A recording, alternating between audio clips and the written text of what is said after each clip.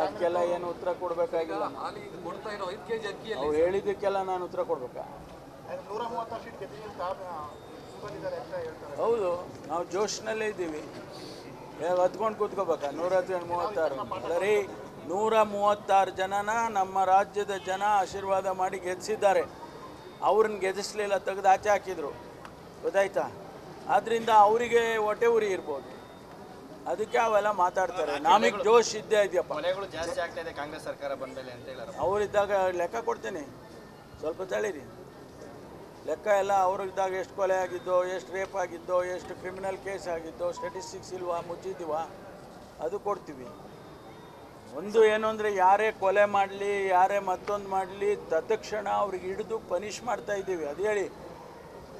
ಏನು ಜೈನ ಮುನಿಗಳು ಕೊಂದರು ಅವ್ರನ್ನ ಆರೇ ಗಂಟೆನಲ್ಲಿ ಹಿಡಿದು ಇವತ್ತು ಅವರು ಜೈಲಲ್ಲಿದ್ದಾರೆ. ಕೋರ್ಟಿಗೆ ಪ್ರೊಡ್ಯೂಸ್ ಮಾಡಿದ್ದೀವಿ. ಕೇಸ್ ನಡೀತಾ ಇದೆ. ಇನ್ವೆಸ್ಟಿಗೇಷನ್ ನಡೀತಾ ಇದೆ.